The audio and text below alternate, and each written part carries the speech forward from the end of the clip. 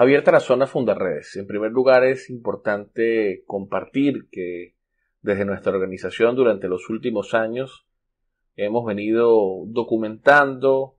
de manera rigurosa la violación sistemática de derechos humanos por la actuación perversa de grupos armados irregulares de origen colombiano como el ELN, la guerrilla de la FARC, la guerrilla EPL,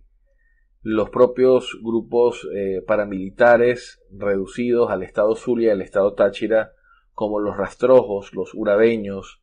las eh, Autodefensas Unidas de Venezuela y Colombia, quienes vienen haciendo uso del territorio fronterizo y de otras entidades del país para consolidar su actividad criminal, su actividad terrorista, su actividad de financiamiento de este modelo perverso de mm, la subversión. Es importante destacar que en el estado Apure desde el pasado 21 de marzo hemos sido testigos de un prolongado conflicto de eh,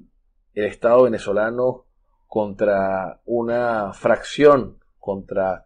una disidencia de la disidencia de la FARC,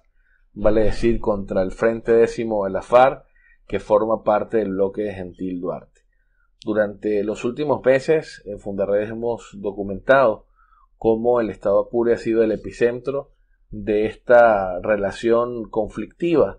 entre el bloque de Iván Márquez y de Jesús Santriz contra el bloque de Gentil Duarte que se negó a ir al acuerdo de paz y que hoy se disputan los controles en territorio venezolano de la actividad del narcotráfico y de la extracción de oro, coltán y diamante. Lo que vivimos el pasado 21 de marzo no es otra cosa que una eh, repetición de hechos eh, acaecidos anteriormente como el 31 de enero en la población de la Macanilla o en el caso del 19 de septiembre en la población de Lula, donde incluso el propio Ejército de Liberación Nacional, la guerrilla del ELN, junto con las Fuerzas Armadas venezolanas, actuaron con eh,